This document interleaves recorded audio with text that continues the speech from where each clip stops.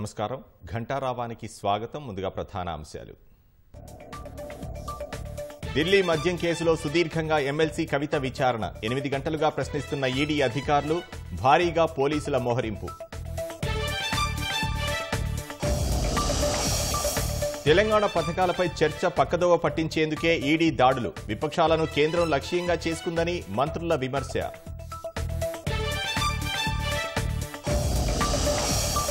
కవితపై సంజయ్ వ్యాఖ్యలు నిరసిస్తూ భారాస శ్రేణుల ఆందోళన. రాజ్భవన్ ముట్టడి ఉద్రిక్తం సుమోటోగా స్వీకరించిన మహిళా కమిషన్. ఈడీ అనుకుంటే గంటలోపే కారాగారానికి ఎమ్మెల్సీ కవిత. కేసీఆర్ కుటుంబ ఆస్తులపై విచారణకు రేవంత్ రెడ్డి డిమాండ్.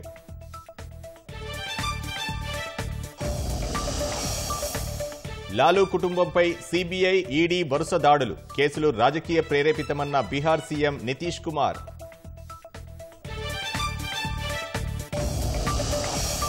దేశంలో H three N two influenza కేసుల ఉధృతి. వేళ కేంద్రం అప్రమత్తం.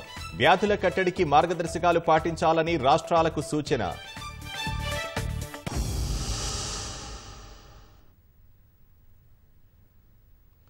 ఢిల్లీ మద్యం కుంభకోణం కేసులో భారాస ఎమ్మెల్సీ కల్వకుంట్ల కవిత విచారణ కొనసాగుతోంది. ఎన్ఫోర్స్మెంట్ అధికారులు ఎనిమిది గంటలుగా ఆమెను ప్రశ్నిస్తున్నారు. ఈ కేసులో ఇప్పటి వరకు లభ్యమైన ఆధారాలు నిందితుల వాంగ్మూలాల మేరకు కవితను పరిసరాల్లో పోలీసులు భారీగా మోహరించారు.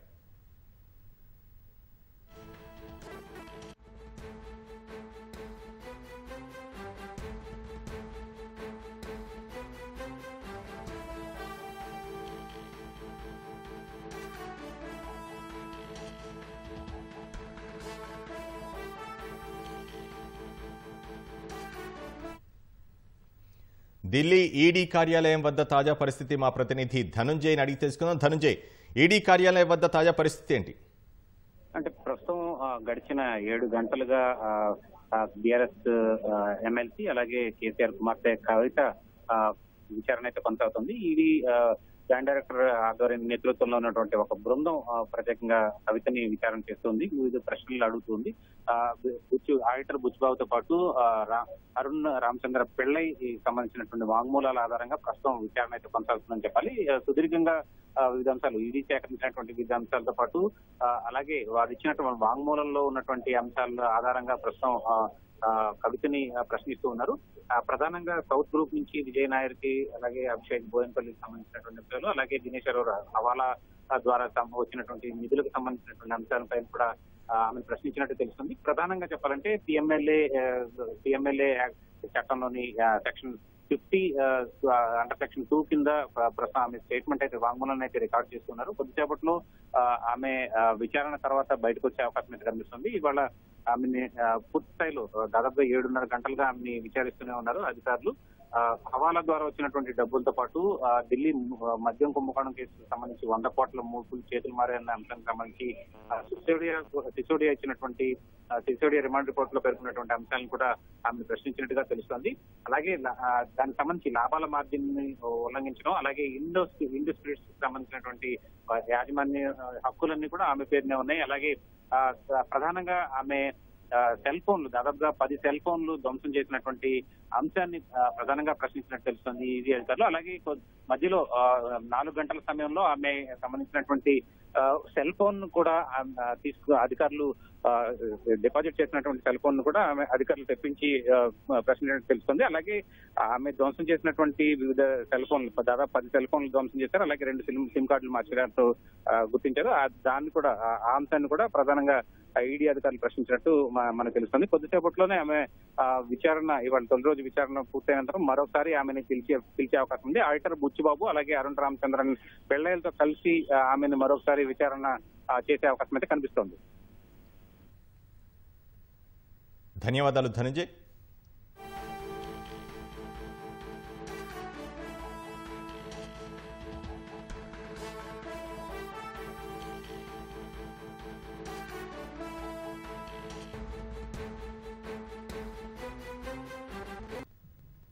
మద్యం కుంభకోణంలో కవితపై ఈడీ దర్యాప్తు జరపడంపై భారాస మంత్రులు ఎంపీలు ఎమ్మెల్యేలు మండిపడ్డారు. కేంద్రంలోని దాడులకైనా భయపడేది లేదని ధైర్యంగా ఎదుర్కొంటామని స్పష్టం చేశారు. మరోవైపు కవితపై భారాస రాష్ట్ర అధ్యక్షుడు భాజపా రాష్ట్ర అధ్యక్షుడు బండి సంజయ్ అనుచిత వ్యాఖ్యలు చేశారని రాష్ట్ర వ్యాప్తంగా భారాస శ్రేణులు ఆందోళనలు చేపట్టాయి. వివిధ పోలీస్ స్టేషన్లలో ఫిర్యాదులు చేశారు. ఎమ్మెల్సీ కవిత ఎన్ఫోర్స్మెంట్ డైరెక్టరేట్ విచారణపై భారస శ్రేణులు భగ్గుమన్నాయి. కవితకు మద్దతుగా మంత్రులు కేటీఆర్ హరీష్ రావు శ్రీనివాస్ గౌడ్ ప్రశాంత్ రెడ్డి మహమూద్ అలీ సబితా ఇంద్రారెడ్డి సత్యవతి రాథోడ్ ఢిల్లీకి వెళ్ళారు. ఎంపీలు కేశవరావు నామా నాగేశ్వరరావు ఇతర ఎంపీలు సైతం హస్తినలోనే ఉన్నారు. ఢిల్లీకి వెళ్ళే ముందు ట్వీట్ చేసిన వేముల ప్రశాంత్ రెడ్డి కవితమ్మ ధైర్యంగా ఉండండి అంటూ పేర్కొన్నారు. కవితపై జరుగుతున్న ఈడీ దర్యాప్తును దేశం యావత్తూ గమనిస్తోందని మంత్రి శ్రీనివాస్ గౌడ్ తెలిపారు. దేశ ప్రజలు చూస్తున్నారు కదా ఎందుకు కేసులు అవుతున్నాయని. ఏ రాష్ట్రంలో ఏ ముఖ్యమంత్రి మీద ఏం కేసులు అవుతున్నాయి ఏ రాష్ట్రంలో ఎవరి మీద కేసులు అవుతున్నాయి ఏ మంత్రుల మీద అవుతున్నాయి ఏ నాయకుల మీద అవుతున్నాయి. చూస్తున్నారు. బీజేపీల మీద ఏం కేసులు అవుతలేవు ఎందుకు అవుతలేవు వాళ్ళ సచ్చీలులా ఆదాన్ల మీద కేసులు అవుతలేవు. లక్షల కోట్లు ఆవరి చేసిన ఎందుకు అవుతలేవు? విజయమాల మీద ఎందుకు కేసులు అవుతలేవు? దేశాన్ని విడిచిపెట్టిపోయిన ఎందుకు పట్టుకొస్తలేరు? ఈ దేశంలో ఉన్నటువంటి వాళ్ళ మీద లక్షల కోట్లు ఎందుకు మాఫ్ అవుతున్నాయి? కేసులు ఎందుకు అవుతున్నాయి? ఎవరి మీద అవుతున్నాయి? ప్రశ్నించిన వాళ్ళ మీద కేసులు అవుతున్నాయి. వాళ్ళ మాటలు వింటే కేసులు ఉండవు ఇలా పోతే కేసులు ఉంటాయి. ఇవన్నీ ప్రజలకంతా తెలుసు. ఏం కేసు ఏం కథ ఏం లేదు. అంతా గమనిస్తా ఉన్నారు అదాని యొక్క హిండెన్బర్గ్ రిపోర్ట్ ఇచ్చినటువంటి దాన్ని ఎక్కడన్నా మీడియాలో వచ్చిందా? ఎందుకు? అదేవిధంగా శ్రీలంకతో చీకటి ఒప్పందం చేసుకున్నటువంటి మోడీ అదానికి ఐదు వేల కోట్లు దోషిపెట్టినాడు. అదేవిధంగా ఈ రోజు అహ్మదాబాద్లో పోర్ట్లో ఇరవై ఒక్క వేల కోట్ల లక్షల కొకైన్ హెరాయిన్ ఆయన పోర్టు ద్వారా బయటకు వచ్చింది where is the no who is worrying విన్నదాన్ని మాట్లాడడం కాదు. It's a totally false allegations we're condemning it we're ready to face the enquiry as per the law కేంద్రంలోని భాజపా కుట్రలను తెలంగాణ ప్రజలు గమనిస్తున్నారని మంత్రులు సబితా ఇంద్రారెడ్డి సత్యవతి రాథోడ్ అన్నారు. సీఎం కేసీఆర్ను ధైర్యంగా ఎదుర్కోలేక కవితను అడ్డుపెట్టుకుని ప్రధాని మోదీ రాజకీయాలు చేస్తున్నారని ఆరోపించారు. మహిళా నాయకత్వం అంటేనే మోడీ గారికి గిట్టదనేది స్పష్టంగా అర్థమవుతా ఉంది. కేసీఆర్ గారు తీసుకున్న ఈ కార్యక్రమాలన్నీ కూడా దేశవ్యాప్తంగా తీసుకుంటే ఎక్కడ ముఖం చెల్లదో ఎక్కడ ఎక్కడ చీ అంటారో ప్రజలను గమనించి ఈరోజు ఉసిగొలిపి కేసీఆర్ గారు వెన్నంటున్న నాయకులని దాదాపుగా నలుగురు మంత్రులను ఇప్పటి వరకు నలుగురు ఎంపీలని నలుగురు ఎమ్మెల్యేలను ఇప్పటి వరకు సిబిఐ సిబిఐ ఎంక్వైరీ అని ఐటీ అని ఏదో ఒక రకంగా వేధించే ప్రయత్నం చేస్తా ఉన్నారు. నీ నీ నువ్వు తోవిన గోతిలో నువ్వే పడబోతున్నావు బీజేపీ బండి సంజయ్ అని చెప్పి. తప్పకుండా ఇలాంటి ఈడీలకు బోడీలకు మేము భయపడం ధైర్యంగా ఎదుర్కొంటాం. మీరు నిజంగా చేసిన కేసుల ద్వారా మీరు జైలుకు పోయే మీరు మరి ఊచులు లెక్క పెట్టుకునే రోజులు మీకు వస్తాయి మాకు ఎలాంటి ధైర్యం లేదు. మేము అన్నీ కూడా ఎదుర్కొంటాం. ప్రజాబలంతో తిరిగి రెట్టింపు ఉత్సాహంతోని తిరిగి నూట మూడు సీట్లతోని రేపు రెండు వేల ఇరవై మూడులో అధికారంకి వచ్చేది బీఆర్ఎస్ కేసీఆర్. ఇది మర్చిపోవద్దు. మరోవైపు ఎమ్మెల్సీ కవితపై భాజపా రాష్ట్ర అధ్యక్షుడు బండి సంజయ్ అనుచిత వ్యాఖ్యలు చేశారని రాష్ట్ర వ్యాప్తంగా భారత శ్రేణులు నిరసన చేపట్టాయి. హైదరాబాద్ బషీర్బాగ్లోని ఈడీ కార్యాలయం ముందు ఆందోళనకు దిగిన గులాబీ శ్రేణులు బండి సంజయ్ బహిరంగ క్షమాపణ చెప్పాలని డిమాండ్ చేశారు. పంజాగుట్టలో ఎమ్మెల్యే దాను నాగేందర్ కుత్బుల్లాపూర్లో ఎమ్మెల్యే వివేకానంద గౌడ్ ఆధ్వర్యంలో చిలకలగూడలోనూ నిరసనలు కొనసాగాయి. సిద్దిపేట హుస్నాబాద్ సంగారెడ్డి జిల్లా జహీరాబాద్ మెదక్ జిల్లా నర్సాపూర్లో బండి సంజయ్కు వ్యతిరేకంగా ఆందోళనలు చేపట్టారు. బండి సంజయ్పై హైదరాబాద్లోని పలు పోలీస్ స్టేషన్లలో భారస నేతలు కార్యకర్తలు ఫిర్యాదు చేశారు. కేసుల నమోదుపై న్యాయ సలహా తీసుకుంటున్న పోలీసులు అన్నీ ఒకే తరహా ఫిర్యాదులు కావడంతో ఒకే పిఎస్కు బదిలీ చేసే యోచనలో ఉన్నారు.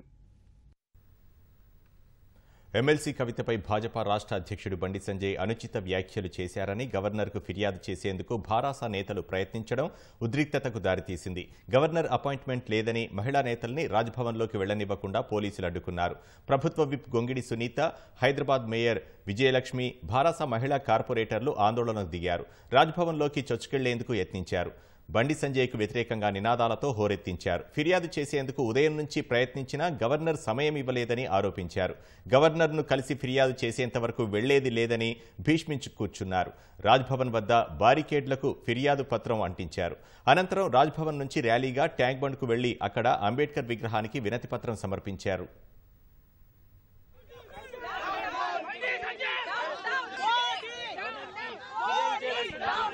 అందుకే ఈ రోజు మేము మహిళలందరం కూడా మేము మా- ఈయన ఏదైతే మాట్లాడిండో ఖండిస్తున్నాము. అండ్ ఆల్సో మేము అందరికి ఆయనకు చెప్తున్నాం. ఆయనకు బుద్ధి చెప్పేలాగా ఆయన మాకు క్షమాపణ చెప్పాలి. ఇవాళ మహిళా దినోత్సవం మేము వారం రోజుల పాటు మహిళలందరూ కూడా ఈ మహిళా వార్షికోత్సవం జరుపుకున్నాం. మాకు మహిళా వార్షికోత్సవం టైం లోపల ఆయన మాట్లాడే మాటలు ఇవ్వండి. కవితక్కకు ఒక్కదానికే కాదు ఇక్కడ యావత్ మహిళలు ఎవరైతే వచ్చినా అందరికీ కూడా ఆయన క్షమాపణ చెప్పి తీరాలి. ఈ ఈ పత్రంకి మాకు గవర్నర్ గారు మాకు టైం ఇవ్వాలి మేము వెళ్ళాలి ఆమెను కలవాలి. తప్పకుండా కలవాలి. పొద్దున పొద్దున నుంచి మేము అడుగుతూనే ఉన్నామండి. ఇప్పటి వరకు కూడా మాకు ఫోన్ కాల్ రాలేదు. ఒకవేళ మా వైపు తప్పు ఉంటే వాళ్ళు చర్యలు తీసుకుంటారు. ఒప్పు అయితే క్లీన్ చిట్ ఇచ్చి పంపిస్తారు. కానీ ఈ లోపల బండి సంజయ్ గారు కవిత గారి పట్ల అనుచితమైనటువంటి వాక్యాలు అసభ్యకరమైనటువంటి వా- వ్యాఖ్యలు చేయడం నిజంగా కూడా దురదృష్టకరం. అందుకోసమే ఈరోజు బండి సంజయ్ గారు మరి క్షమాపణ చెప్పాలని మేము డిమాండ్ చేస్తా ఉన్నాం. మరి గవర్నర్ గారు గతంలో ఎన్నో మార్లు చెప్పారు నేను ప్రజా దర్బార్ నిర్వహిస్తున్న ఈ ప్రజా దర్బార్లో ఎవరికి ఏ కష్టం వచ్చినా మీకు నేను అందుబాటులో ఉంటా అని చెప్పారు. మహిళలకు అన్యాయం జరిగితే నేను ముందుంటాను నేను మీకు సపోర్ట్ చేస్తానని చెప్పి గతంలో చెప్పారు. మరి మా మహిళల పట్ల ఈరోజు అనుచితమైనటువంటి వ్యాఖ్యలు చేసిన బండి సంజయ్ గారి మీద ఒక వినతి పత్రం ఇచ్చి తగిన చర్యలు తీసుకోవాలని చెప్పి మేము కోరుతూ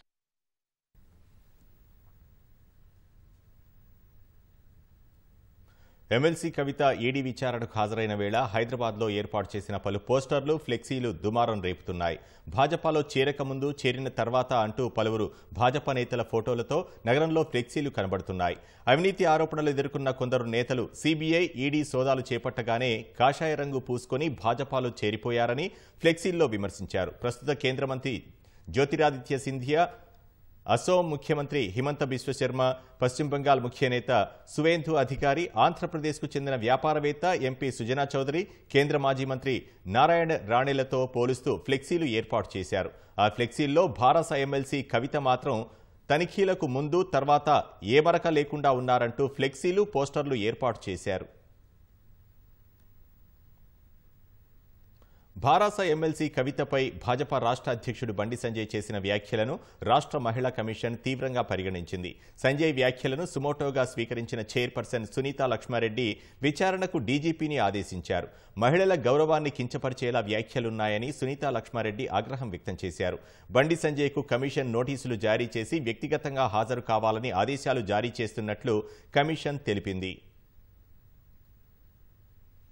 భారాస భాజపా పార్టీలు పరస్పర అవగాహనతో పోరాడుతున్నాయని కాంగ్రెస్ రాష్ట్ర ఇన్ఛార్జ్ మాణిక్రావు ఠాక్రే ధ్వజమెత్తారు. భారాస ప్రభుత్వం ప్రజల నుంచి డబ్బులు కొల్లగొట్టి రాబోయే ఎన్నికల కోసం సిద్ధం చేస్తోందని ఠాక్రే గాంధీ భవన్లో ఆరోపించారు. తెలంగాణలో రాబోయే ఎన్నికల్లో కాంగ్రెస్ ప్రభుత్వమే రాబోతోందని ధీమా వ్యక్తం చేశారు.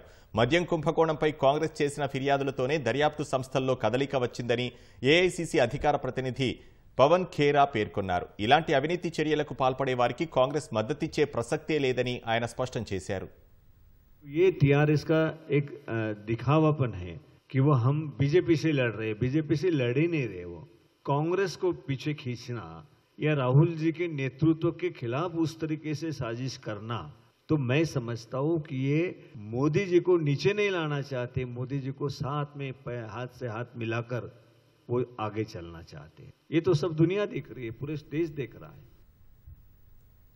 ఈడీ అనుకుంటే గంటలోపే భారాసా ఎమ్మెల్సీ కవితను జైలుకు పంపించవచ్చని ఎందుకు నాటకాలు ఆడుతున్నారని పీసీసీ అధ్యక్షుడు రేవంత్ రెడ్డి ప్రశ్నించారు కేటీఆర్ హరీష్ రావు కవిత సంతోష్ రావు ఎనిమిదేళ్లలో లక్ష కోట్లు సంపాదించారన్న ఆయన వారి అక్రమ సంపాదనపై విచారణ చేయించాలని భాజపాను డిమాండ్ చేశారు ప్రధానంగా దేశ స్థాయిలో ప్రపంచ స్థాయిలో అదాని అంశాన్ని తొక్కిపెట్టడానికి బీజేపీ ఢిల్లీ లిక్కర్ స్కామ్ను మీడియాలో విస్తృతంగా చర్చకు అవకాశం కల్పిస్తుండ్రు. ఆల్రెడీ లంచం ఇచ్చిండ్రంటుండ్రు తీసుకున్న వాళ్ళు అంటారు మొత్తం చెప్పారు ఏముందా కవితను తీసుకొని పోయి లోపల వేయడానికి ఒక గంట చాలు. ఎందు ఎందు- ఎందు- ఎందుకు నోటీసులు ఇచ్చి మళ్ళీ పోయి మళ్ళా రా వారానికి ఒకసారి నెలకోసారి ఎందుకు డ్రామా అంతా? అరెస్ట్ చేయడానికి ఇంకా ఆలస్యం ఎందుకు? మళ్ళీ విచారణ పేరు మీద రామ్మ పోమ్మ ఏం పేరంటానికి పిలుస్తుండ్రా? పెళ్ళికి పిలుస్తారు దేనికి పిలుస్తారు ప్రశాంత్ కిషోర్ ఇచ్చిన వ్యూహాన్ని తెలంగాణలో అమలు చేస్తారు వెస్ట్ బెంగాల్ తరహా రాజకీయ ప్రయోగాన్ని తెలంగాణలో అమలు చేసి కేసీఆర్ అధికారాన్ని పదిలం చేసి ప్రధాన ప్రతిపక్షంగా బీజేపీ అవతరించడానికి జరుగుతున్న పొలిటికల్ స్ట్రాటజీ. తారక రామారావు హరీష్ రావు సంతోష్ రావు కవితారావు ఆస్తుల మీద పూర్తి స్థాయిలో విచారణకు ఆదేశించండి. దీని మీద బీజేపీ విచారణ చేసి వాళ్ళను అరెస్టు చేయనంత వరకు ఇది డ్రామాగానే కాంగ్రెస్ పార్టీ పరిగణిస్తుంది. సీఎల్పీ నేత భట్టి విక్రమార్క తన పాదయాత్ర షెడ్యూల్ను విడుదల చేశారు. ఈ నెల పదహారు నుంచి జూన్ పదిహేను వరకు తొంభై ఒక్క రోజులు ముప్పై తొమ్మిది మండలాల్లో ఒక వెయ్యి మూడు వందల అరవై ఐదు కిలోమీటర్లు తన పాదయాత్ర కొనసాగించనున్నట్లు భట్టి విక్రమార్క ప్రకటించారు. హాత్ సే హాత్ జోడో అభియాన్ కొనసాగింపుగా భట్టి పాదయాత్ర కొనసాగుతుందని ఏఐసిసి కార్యక్రమాల అమలు కమిటీ చైర్మన్ మహేశ్వర్ రెడ్డి వెల్లడించారు. రాష్ట్ర ప్రజల ఆకాంక్షలు నెరవేరాలన్న సంకల్పంతో ప్రత్యేక రాష్ట్రాన్ని కాంగ్రెస్ ఇచ్చిందని కానీ బీఆర్ఎస్ పాలనలో అవేమీ నెరవేరలేదని సీఎల్పీ నేత భట్టి విక్రమార్క ఆరోపించారు. నిరాశ నిస్పృహల్లో ఉన్న ప్రజల్లో ధైర్యం నింపి వారికి అండగా నిలబడడానికే తాము పాదయాత్ర చేస్తున్నట్లు వివరించారు. సే ఆత్ జోడో కార్యక్రమాన్ని ఈ నెల పదహారో తారీఖు నుంచి మొదలుపెట్టి జూన్ పదిహేను వరకు ఇచ్చోడ నుంచి మొదలుపెట్టి ఖమ్మంలో భారీ బహిరంగ సభతో ఈ కార్యక్రమాన్ని ముగిస్తాం. దీంట్లో భాగంగా detailed programme constituency wise villages route కూడా మేము ఇచ్చాం. తెలంగాణ రాష్ట్రం కావాలని ఈ రాష్ట్ర ప్రజానికం కోరుకున్న లక్ష్యాలు ఏంటి ఎందుకు కోరుకున్నారు?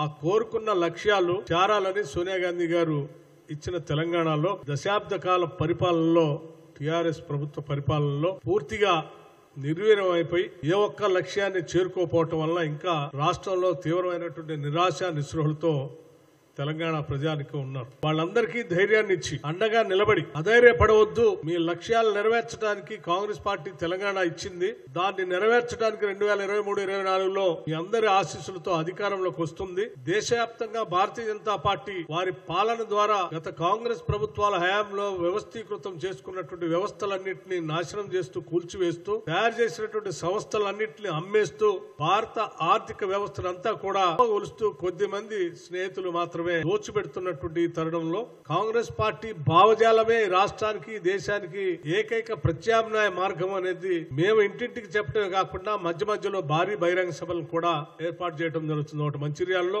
రెండు హైదరాబాద్ పరిసర ప్రాంతాల్లో మూడు ఖమ్మంలో. దీనికి సంబంధించి జాతీయ స్థాయి నాయకులందరూ కూడా దీంట్లో పాల్గొనేటట్టుగా ఇప్పటి నుంచే ఏఐసిసి కసరత్తు కూడా చేస్తాం.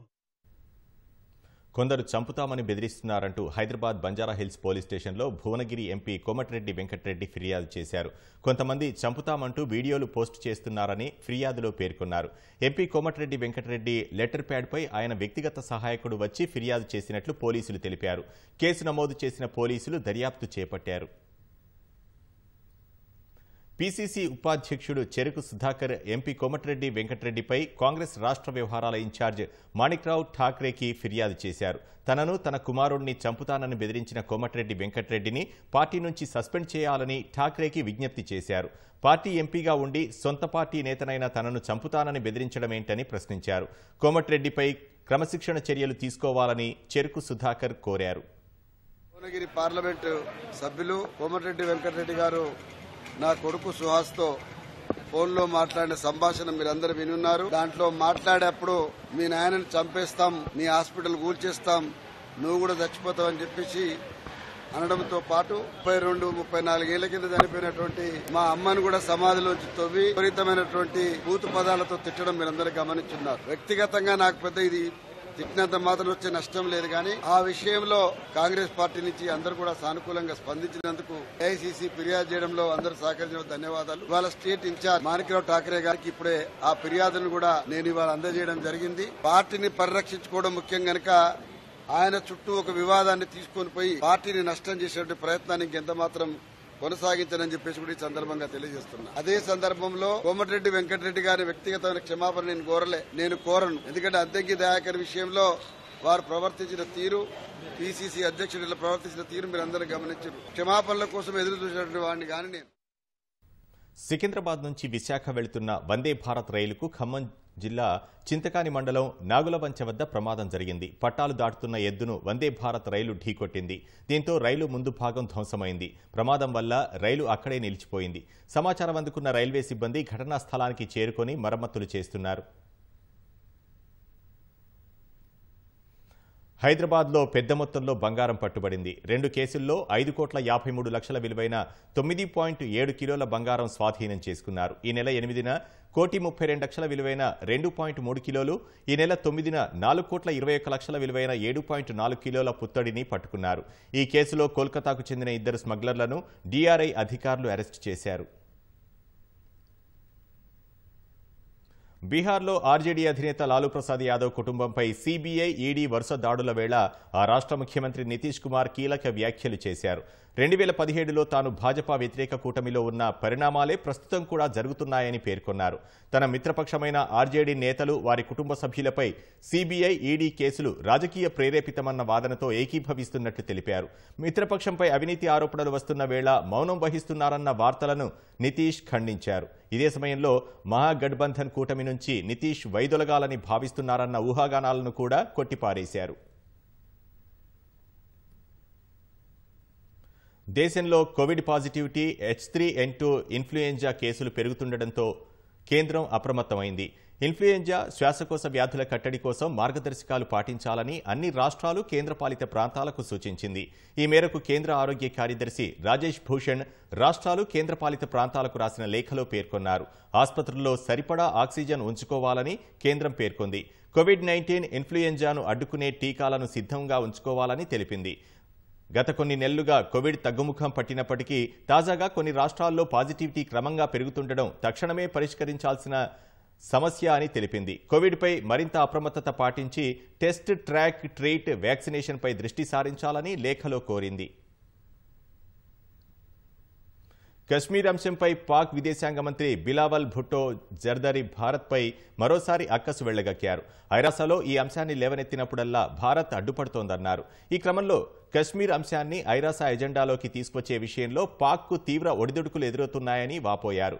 ఐరాస వేదికలపై కశ్మీర్ సమస్య ప్రస్తావనకు వచ్చినప్పుడల్లా పొరుగు దేశాలు తీవ్ర అభ్యంతరాలు వ్యక్తం చేస్తున్నాయన్నారు. ఇవి వివాదాస్పద భూభాగం కాదని ఐరాసాలో చర్చించాల్సిన వివాదం కాదని చాటేందుకు యత్నిస్తాయని బిలావల్ వ్యాఖ్యానించారు. పాలస్తీనా కశ్మీర్ పరిస్థితులను పోల్చుతూ ఓ మీడియా సమావేశంలో ఆయన ఈ మేరకు మాట్లాడారు. కశ్మీర్ పాలస్తీనాల పరిస్థితి ఒకటేనని ఈ రెండు సమస్యలను ఐరాసా ఇప్పటివరకు పరిష్కరించలేదని అన్నారు. భారత్ను అభివర్ణించే క్రమంలో మిత్రదేశం పొరుగుదేశం అంటూ బిలావల్ తడబాటుకు గురి కావడం గమనార్హం. జమ్మూ కశ్మీర్లో ఆర్టికల్ మూడు వందల డెబ్బై రద్దు అనంతరం భారత్ పాక్ మధ్య కశ్మీర్ వివాదం ముదిరింది. ఈ అంశాన్ని ఎత్తిచూపి అంతర్జాతీయ వేదికలపై భారత్ను దోషిగా నిలబెట్టాలని పాక్ గతంలోనూ పలుమార్లు ప్రయత్నించి భంగపాటుకు గురైంది. జమ్మూ కశ్మీర్ లద్దాఖులు పూర్తిగా భారత్లో అంతర్భాగమేనని వాటిపై ఎవరూ జోక్యం చేసుకోవాల్సిన అవసరం లేదని భారత్ ఇదివరకే దాయాదికి గట్టిగా చెప్పింది. ఇండోనేషియాలోని జావా ద్వీపంలో ఉన్న మెరాపి అగ్నిపర్వతం బద్దలైంది పరిసర ప్రాంతాల్లో పొగతో కూడిన మేఘాలు అలుముకున్నాయి. దీంతో ఆ ప్రాంతంలో పర్యాటకం మైనింగ్ కార్యకలాపాలకు అధికారులు నిలిపివేశారు. పొగ మేఘాల ధాటికి సూర్యరశ్మి లేక చీకటి అలుముకుందని జాతీయ విపత్తు నిర్వహణ సంస్థ పేర్కొంది. ఇప్పటివరకు ఎలాంటి ప్రాణనష్టం జరగలేదని తెలిపింది. అగ్నిపర్వతం నుంచి వస్తున్న లావా వల్ల ప్రజలు సురక్షిత ప్రాంతాలకు వెళ్ళాలని విపత్తు నిర్వహణ సంస్థ సూచించింది.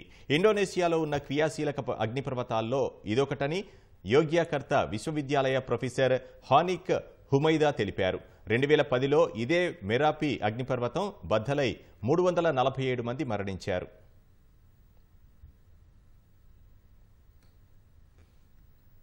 దిగ్గజ సామాజిక మాధ్యమాల మాతృ సంస్థ మెటా ట్విట్టర్కు పోటీగా కొత్త సామాజిక మాధ్యమాన్ని రూపొందిస్తోంది.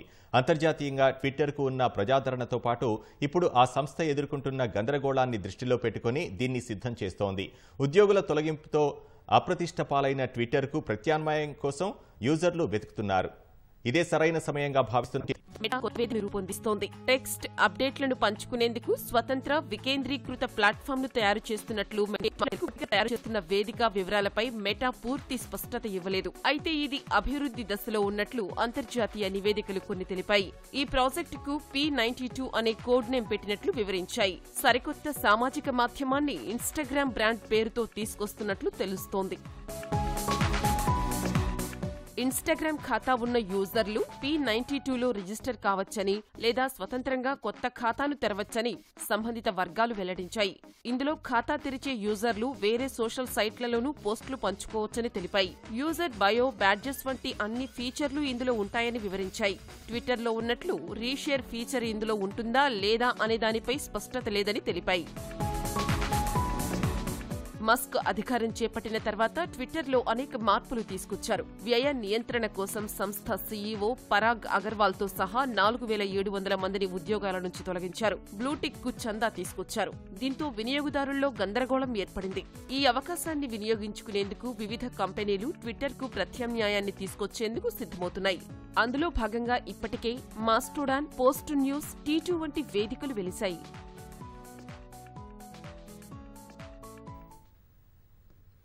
జోనియో సముద్రంలో రెండు పడవల్లో కిక్కిరిసి వెళ్తున్న ఎనిమిది వందల మంది వలసదారులను ఇటలీ తీర రక్షక సిబ్బంది రక్షించింది.